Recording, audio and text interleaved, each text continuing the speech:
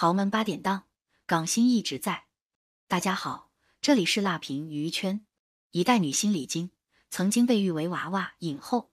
一九六五年，凭借《虞美人》夺得第十二届亚洲影展影后宝座，是当时邵氏最抢手的女星之一。不过人到晚年，却被爆出毒瘾，败光家产，直到飘出尸臭才被人发现孤独 C 在家中。媒体人说，李菁当年被邵氏兄弟公司力捧的时候。主演的票房屡创新高，收入也是非常可观，还曾经为了符合新角色的形象，砸重金购买豪宅，而且对工作人员也很大方，经常自掏腰包请大家吃饭，名气非比寻常。可是万万没有想到的是，晚年的下场竟然如此悲惨。如今已经没有多少人知道他了，但是在上个世纪六十到七十年代的湘江，李菁可谓无人不知，无人不晓。她红得发紫，是邵氏当之无愧的当家花旦、娃娃影后。她火遍香港，身价颇丰，是第一位入住山顶豪宅的女明星。她长相甜美可人，令人过目难忘，连绝世美人林青霞也奉她为偶像。然而，不过数十年的光景，从万人瞩目的影后到 C 后无人问津的孤苦老妪，李菁的人生可谓急转直下。然而，故事的开头并非如此不堪。李菁是被宠大的孩子。一九四八年，他出生在上海的一大大家庭，他还有五个哥哥，两个姐姐，而他则是被长辈们捧在手心的珍宝。两岁那年，他随南迁的父母来到香港。那时懵懂的他并不知道，这一个地方将带给他一生的荣耀与苦痛。她长得很美，白皙的皮肤，水灵灵的大眼睛，高挺的鼻梁，有种令人过目不忘的气质。十四岁，他被星探挖掘，不顾家人反对，骄纵惯了的他，放弃了学业，考入邵氏旗下的南国实验剧团。浮华的演艺圈从来不缺美人，原本出挑的李菁，在这里也只是万花丛中的一朵。压力如潮水般袭来，没有人脉，没有资源，好强的李菁第一次感到了挫败。但骄傲如他，却不肯就此放弃。他总是早早来到片场。认真的演好每一个小角色，几句台词也是反复打磨。没有工作的时候，他就留在片场看前辈们演戏。他的执着与勤勉打动了邵氏的高层，因为古装扮演风韵独具，他被公司设定为古装美人。小小年纪的他，接连出演古装大戏《宝莲灯》《双凤奇缘》《血手印》等热门剧集。虽然出演的几乎都是配角，但是靠着灵动的演技，他也有了固定的粉丝。这让邵氏高层嗅到了商机。一九六五年，电影《虞美人》的剧本交到了李菁手上。大女主、双面人生、脱俗的剧情、强大的卡司，几个关键词的叠加，成就了李菁。凭借着出演剧中两个性格截然相反的角色，让她一夜成名。不仅电影大卖，而是还一举斩获了第十二届亚洲影展最佳女主角奖。那一年，她十七岁。尚未成年，于是娃娃影后成了此后半生人们对她的爱称。李菁是幸运的，她红的那年，影后林黛去世，尤敏息影，乐蒂转投别嫁，以美女著称的邵氏青黄不接，李菁成了邵氏当家花旦的接班人。邵氏不惜重金，拼命的往她身上砸，最好的资源、最强的班底，都如潮水般向她涌来。在邵氏工作十三年间。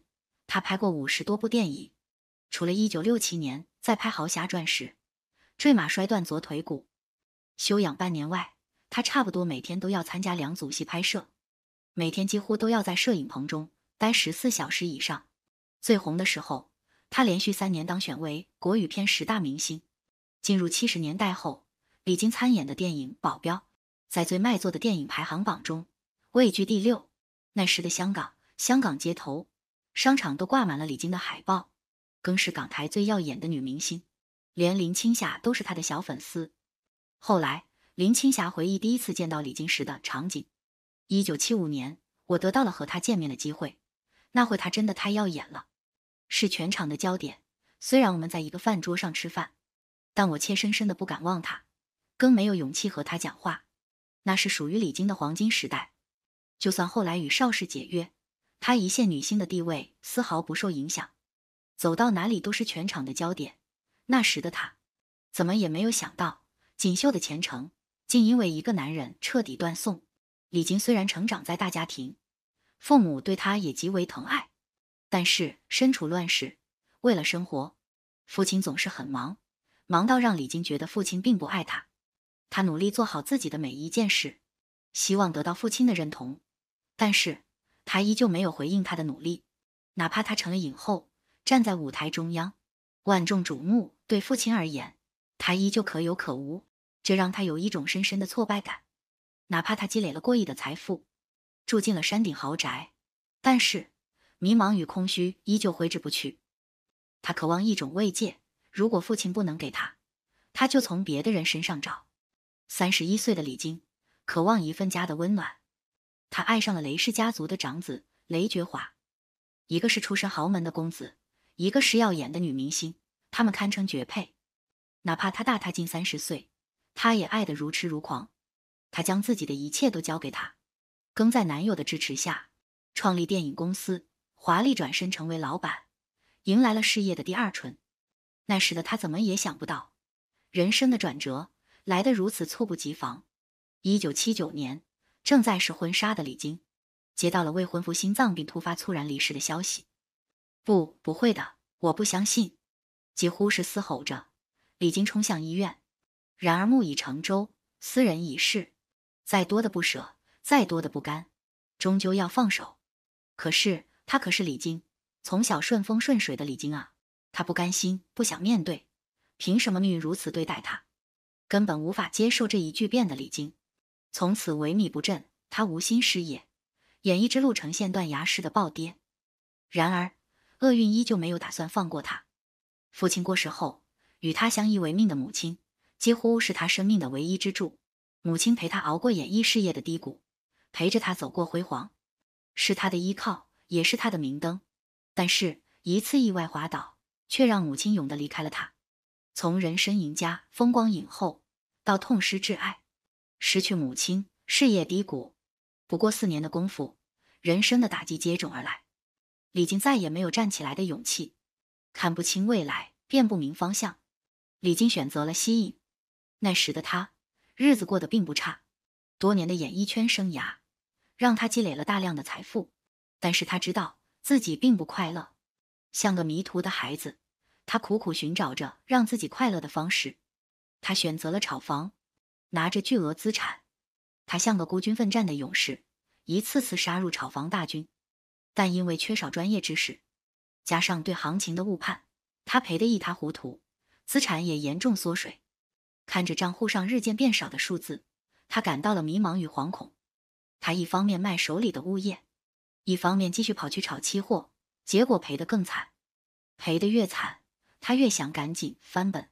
可是他选错了路，赌博，短暂的刺激。金钱的诱惑让他沉醉，让他痴迷，赌徒般的快意麻痹着他痛苦的神经，让他忘却眼前的不堪。但是豪赌并没有带来翻本的生机，反而蚕食着他的存款、房产和仅存的尊严。起初，念及旧情的邵义夫和雷氏家族还会接济他，每月固定给他几万块，还会提供固定住所。但习惯了奢靡的生活，李金哪怕借钱度日。但是派头排场依旧不肯减省，何况只要手中有一点点闲钱，他就会跑去澳门赌场挥霍一空。那些雪中送炭的人，终究被寒了心。一个过气的女明星，哪怕她曾光芒万丈，最终也成了转瞬即逝的流星，再也没了往日光辉。在得知李晶的消息，便是她的去世。孤身一人的她，在破败的公寓中吸去多时，被人发现时，已经四肢僵硬。散发恶臭，谁也无法将眼前狼狈不堪的老妇与曾经光芒万丈的美女影星联系起来。曾经的辉煌不再被提起，李晶终究被时代的巨浪抛弃，毫不留情，没有半点涟漪。李晶的一生有过烈火烹油的繁花似锦，更有衰败不堪的难堪落寞。